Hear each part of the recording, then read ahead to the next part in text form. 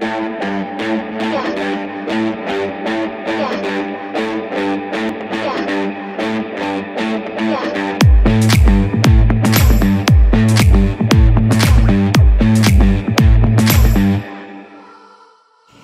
up guys, Clayton here with IdeaSwell. In this quick video tutorial, I'm going to show you guys how to change an image on a website built with the Divi Builder. Let's jump right to it, starting with the login screen. Now if you're not sure where that's at, it could be at whatever your .com is slash WP-admin.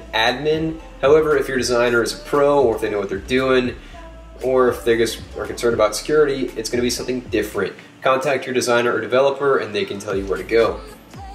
The site we're going to be working with today is pawsrescuegroup.com, an excellent rescue organization out of Seminole, Florida. Alright, so once you're logged into the site, you're going to see an admin somewhat like this. What I suggest you do is come out of the admin, you can go up here to the top left, drop down, it's going to give you an option to visit site. Go ahead and hit that. That's going to take us to the front end of the website. Now if it's not the home page you want to edit, just go to whichever page you want to edit and from there, you're going to be hitting Enable Visual Builder. And once it loads up, you can see now that when you hover over areas of the site, they become highlighted. Now, if you have an image like this and there's no text over it, it is likely a regular Divi image module. However, if there's text on top of the image, it is a background image. So I'm going to show you how to edit both of those in this video, but let's go ahead and start out with the easy Divi image module. Now, all these little highlighted areas that you're seeing being outlined are basically divs, uh, div containers. And you have kind of the outermost, a little bit further inside, and then the row, and then inside of the smallest container are the actual Divi modules. So you kind of have these layers, and these are for design purposes and layout purposes. So in this particular section we're looking at, we've got a specialty container. Inside of that, we have a row, and inside of the row on this side of the specialty container, we actually have the image module we're going to edit. And we're to jump right to the edit wheel there. It looks like a little gear icon. Click on that. And to change this image out, you can either click on the image directly or again on the little gear icon. Now the default is normally upload files. In this case it was media library. You can go ahead and select any of these images and once you've selected one, hit upload image. Or if you want to upload files, select the file you want to upload. Go with this one, just for demonstration purposes.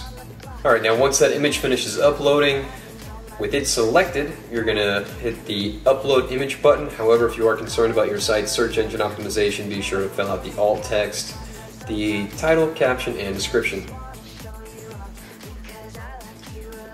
And Two more steps to save this. You need to hit the check icon, and then down here, hit this little purple circle to open up the save option. Now once you hit that save option, it will be saved. Now luckily for us, Divi has a really cool feature, which is the undo feature. We're just going to hit Command Z, because I'm sure they don't want pictures of trees. That has nothing to do with dogs on their pet adoption website. Alright, so that is the basic way to change most images you're going to see on a Divi site. However, there is the background image. Let's see if we have one on this side. I don't believe we do. Now, although I don't see a background image in use currently on this website, I'm going to go ahead and put one in so I can show you guys how to change it if you happen to see one. Okay, so if you see something like this where you have text directly on top of an image, normally it's going to be bold and some, you know, bold color so you can actually read it. But hit the gear icon, come down here to background. Now you may see a color here, but what you want to go over to is the image. And again, click directly on that image and you can change what it is, or you can delete it entirely by hitting the trash can option here. Alright, now that's the basics on changing images. However, I would like to tell you that if you are changing images on your website, be sure to optimize them. If you upload a file that's a couple megabytes big, and let's say it's 3,000 pixels wide, which is what a lot of phones take by default these days, you're uploading an image that is way bigger than it needs to be for display on a website. So what do you do? Well, you need to compress that image, and you also need to shrink its size down, its proportions. So I'm going to show you guys how to do that in the next video